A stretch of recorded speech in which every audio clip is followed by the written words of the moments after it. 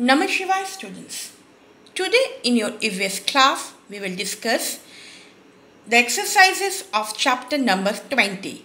I think students who have already finished doing the exercise A, B and C in your book. Today we will first discuss the answer of these exercises. Now let's start with exercise A. Find out who I am. 1. I make the plan of the house. Architect. 2. My tools are rollers, ladders and brushes. Painter. 3. I lay the pillars, walls and roof of the buildings.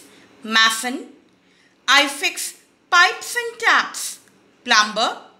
I need goggles to do my work. Answer is welders. Now exercise B. Write T for true and F for false. Number 1. The sun-dried bricks are baked in an oven. Answer is true. Number 2. Bricks take about 6 hours to pass completely through the kiln. False. Number 3. Temporary bridges can be taken apart after use. True. Number 4. A Birring bridge is made of rubber boats. False. The Howrah Bridge in Kolkata is a cantilever bridge. The answer is true.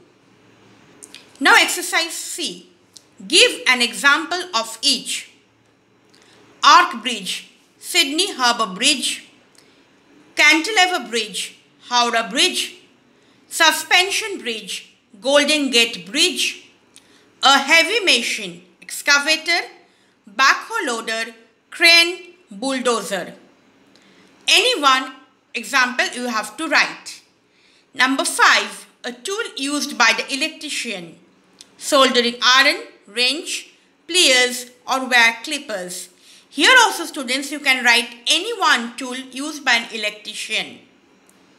These three exercises that is exercise A, B and C you have to do it in your book and you have already done it please check the answer with mine. Now exercise D that is answer these questions. This exercise you have to do in your EVS copy. Give today's date, write the name of the chapter and start doing this exercise. Now question number 1. Why are bricks used for construction purpose? Answer. Bricks are used for construction purpose because they are the basic building components which are cheap, long lasting and easy to use. Question number 2. Why were bridges needed to be made? Answer. Bridges are being made mainly to solve the problem of traffic jam and also to help people and vehicles to cross from one side to another side of the road or waterways. Exercise 3 or question number 3. Describe each type of bridge. This question I have already discussed in part 2 video of this chapter. Students, I told over there to write it down in your copy. If you have already written, no need to write once more. If you have not finished writing that answer, please go through that video and write this answer in your copy. Next question number 4. Name 5 heavy machines and 10 tools used by workers while building houses. Answer. Heavy machines are excavator, backhoe loader, crane, dump, tr truck, bulldozer.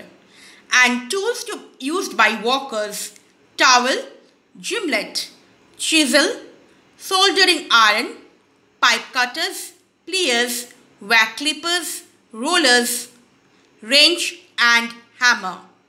Students, you can write the names of other tools also which are used by workers during building houses.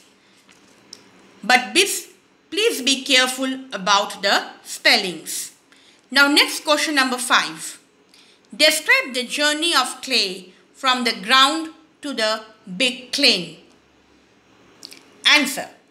Clay is a type of soil particularly found in lake beds and river beds of our earth surface.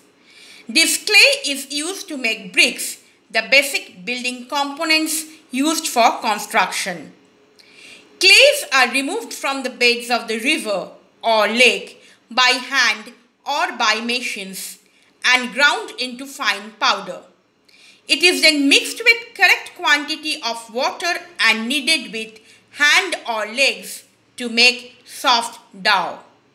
This dough then put into brick molds and excess clay is being removed to get even sized bricks which are piled and kept in the sun to get dry. After two weeks, the bricks are taken out from molds and put into big kilns to get baked for about 36 hours at a temperature of 600 degrees Celsius to 1100 degrees Celsius in slow heat. Once the brick is ready, they are kept in holding area to get cool. So students, start writing these five answers in your copy and please write the answers properly. Be careful about the spelling and your handwriting. Next class, when we will meet after your puja vacation, we will start a new chapter from your EVS book. Till then, do your work properly and stay at home. Namah Shivaya.